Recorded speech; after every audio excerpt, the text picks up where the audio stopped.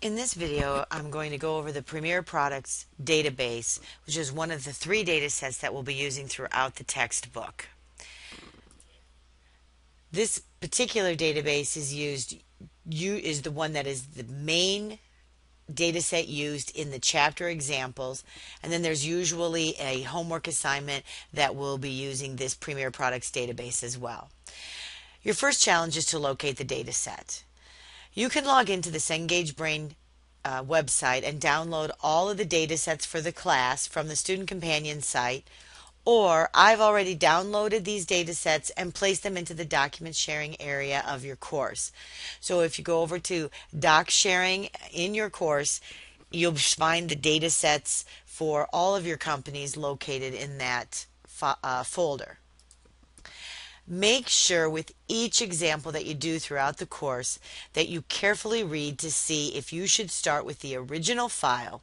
In other words, download a new copy in order to do this example, or if you need to continue with data from the prior example. It's very important that you do start with the correct data set. When you open Premier Products, you'll likely see a security warning. And that security warning, where it is, will depend on what version of Access you're actually using. As long as you have version 2007 or later, you'll be able to complete all of the examples for this course. In 2010, which is what I'm using, the security warning is shown right underneath the ruler. You need to click the Enable Content button in order to continue with the example. Once you do that, it's going to open up in an Access database similar to this. So let's start off and take a look just at the actual tables. The customer table, when I double click it, will open up the uh, data view and allow me to see 10 records. If you notice down here in the bottom uh, and the navigation uh, navigation area at the bottom, it'll tell you you're on record 1 of 10. The first icon on the left will change my view. And when I click on that icon, that'll change me from data to layout view. The uh, design view shows me the actual fields and the data types and whichever field name I have currently selected the bottom of that window shows me the properties for that particular field. This first table has nine uh, fields in it the majority of them are text fields. A text field can store an alphanumeric character up to 255 characters. But notice, for example, on the customer number here at the top, if you take a look at the field size property down in the, at the bottom, you'll see that the author has restricted the field size for customer number to three characters. Continuing down, customer name, for example, has been restricted to 35 characters. The street has been restricted to 15 characters, etc. So while a text field can store up to 255 characters, each particular field has been restricted to a lower number of characters. This first table also has a currency data type. Currency data can, is, is uh, data type is for numeric data with up to four decimal places. One of the biggest differences between a currency and a numeric data type is that currency data types are pre-formatted for dollar signs, commas, when over $1,000, and two decimal places. Even though it defaults to show two decimal places, I can store up to four decimal places in a currency data type. Notice that the first field has a little key icon next to it. This little icon indicates that this field is the primary key. A primary key uniquely identifies each record in the table. So in other words, I cannot have two records in this table with the same customer number. The customer number must always be unique. That first icon on the left will switch me back to the customer view. The order line table, if I double click, will open up and it has nine records in it. If I right click on it and choose design, I'll be able to, that's just another way to get to the design view. Notice it has four fields. These two fields together make up the primary key. In other words, I may have a record, more than one record with the same order number. I may have more than one record with the same part number, but I will never have more than one record with the same order number part number combination. This particular table also introduces the numeric or number data type. There are a variety of different sizes for number. This one the author has set to double. So if we look at the properties down below, we can see that it's been set for, for a double field size. If you're not familiar with Access and you want more information about numeric field sizes, I'd recommend you click down there and hit the F1 key, which will open up your Access Help window. Since you first clicked on the field size of a number field, it takes you to that content text specific help. So it's immediately telling me, for example, that a byte field size will store a number between 0 and 255 with no decimal precision. I need to use either decimal, single, or double in order to get into decimal precision. By far, long integer and double are the most commonly used number field sizes. I'm going to right click on orders and choose design in order to take a look at the design of the next table. I have three fields. This one introduces a date and time data type. Uh, first notice that my order number is the primary key. It has that little key icon next to it. When I click on order date, you'll see down here in the properties that the author has set no formatting nor input mask for this particular uh, field. Usually when you set date, date time fields, you set both a format and an input mask, but the author has not done either one. That means that the format of my date time will be the format that is set in my control panel in my regional options. I'm going to go ahead and click view to look at the data. You can see that my dates are all set to show the month slash day slash and a four digit year. That's the default in the control panel for my version of Windows. If I right click on part and choose design, looks like this table has six fields. Again, text, number, currency, and part number is my primary key.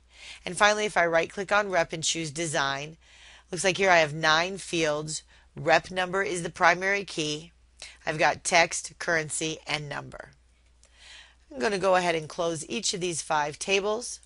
Then I'm going to switch over to the Database Tools ribbon and click on Relationships. Now if you go into the relationships and you do not see all of your tables like I do here, you can simply right click in the gray and choose Show All. The author has left all five tables there so when you first come in it you should be able to see all five. Notice the relationship lines that are drawn from table to table. The rep number here is the primary key and it's connected to the rep number in the customer where it's known as a foreign key. We'll talk more about those words primary key and foreign key as the weeks go on. Remember that the primary key uniquely identifies each record in the table. It's connected to another table through a foreign key. While those two field names do not technically have to have the same name, they have to represent the same thing and experience from me tells you that it's a lot easier if they have the actually have the same name. Notice the 1 and the infinity symbol.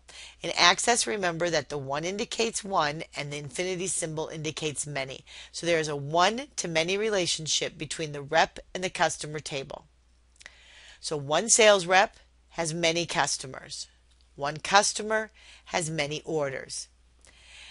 The relationship on these three tables is a little more confusing. You see, one order could be for many parts, and one part could appear on many orders. As the database designer, I've identified the many-to-many relationship that exists between orders and parts, and thus created another table, which the authors called order line, in order to accommodate that relationship.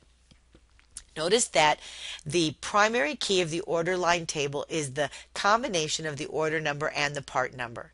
In other words, I may have multiple records with the same order number and multiple records with the same part number in this order line table, but I will never have two records with the same order number part number combination as any other record in that table.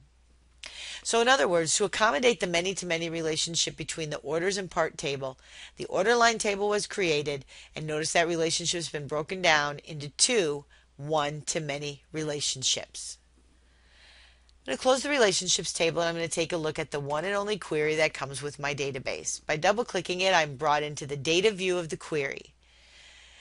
If I go back to the home ribbon and I change my view, I now can see the design. We'll spend a lot of time in chapter 2 working in query by example design within Access.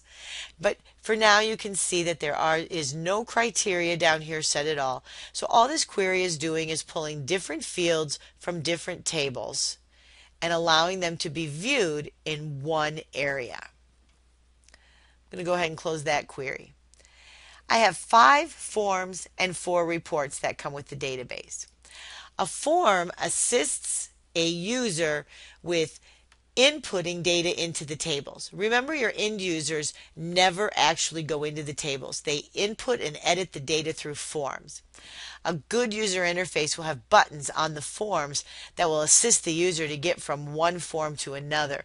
And that's something that the author does not have when we begin. So this is the customers table. This is the orders table.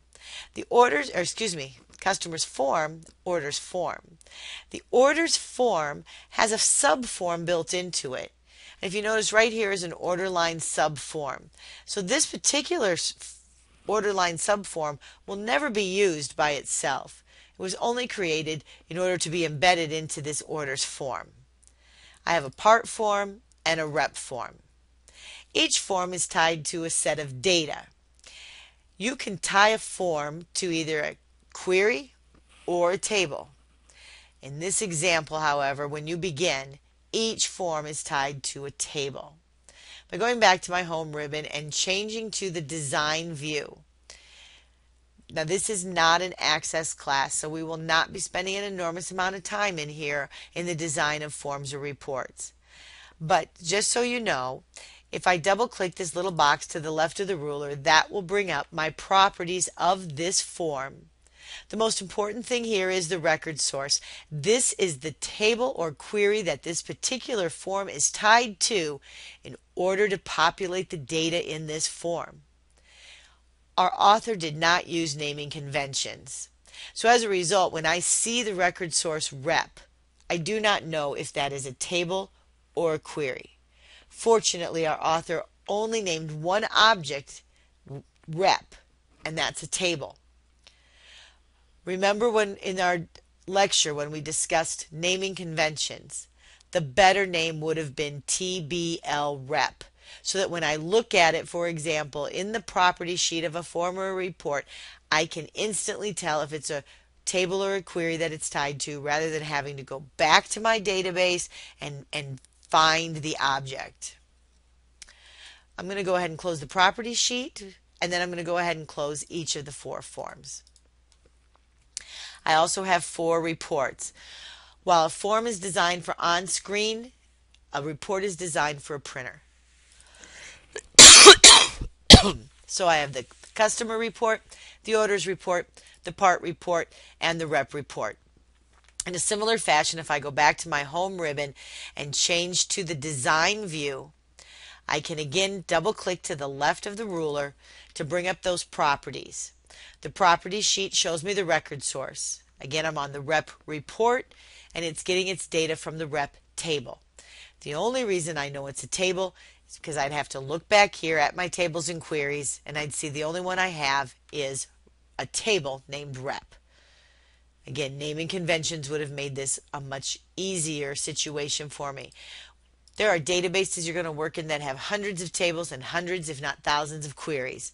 So using a naming convention can assist you in identifying those items as you as you work with them as record sources for for queries, for uh, forms, for reports, for formulas, and even in your Visual Basic code. So that's an overview of where you're starting with the Premier Products database.